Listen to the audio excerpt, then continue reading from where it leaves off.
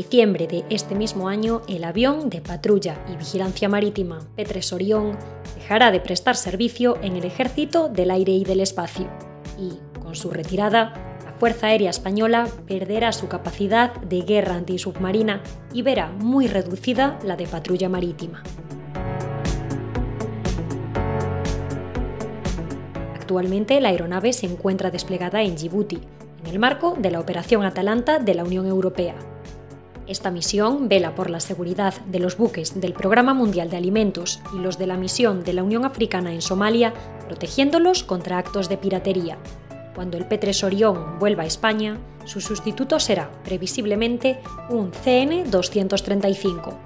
algunas unidades de este modelo fueron adaptadas durante la primera década del nuevo milenio a misiones de vigilancia marítima mediante un programa de modernización.